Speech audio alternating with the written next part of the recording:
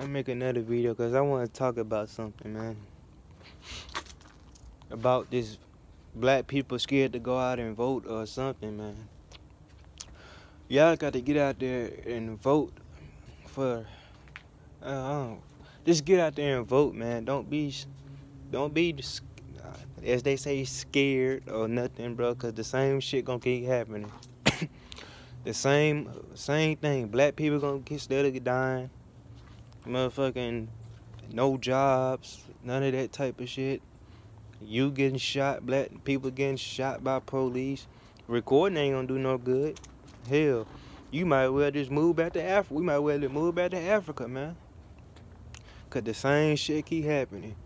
And then niggas wanna kill people and blame it on the white people, white white man. Wanna blame the jobs that we ain't getting on the white man. Shit. Cause the same shit, bro.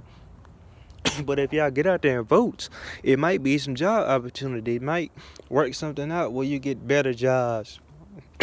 might get a better home, better community, better better organization, organized. But other than that, man, just please get out there and vote for the next president, man. Just please. And watch the watch the change, the significant change is going to bring. Just get out there and vote, man. So we can live a better world, a better earth, a better life. Cause other than that, this shit just gonna keep on going. So get out there and vote, man. I'm not I'm not talking just for black people, but everybody, everybody just get out there and vote. I don't know who's candidates, but just vote. No matter what, just vote.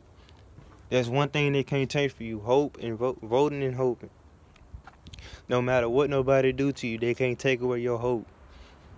You a man before anything, you a woman before anything.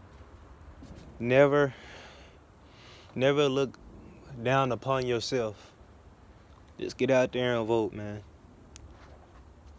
Every voting, every everything that's going on, vote, vote, vote. I don't give a fuck if it's for, for the new garden center. Vote, vote, vote other than that, the world ain't gonna change. So I don't know if this makes sense enough, but yeah, just get out there and vote, man.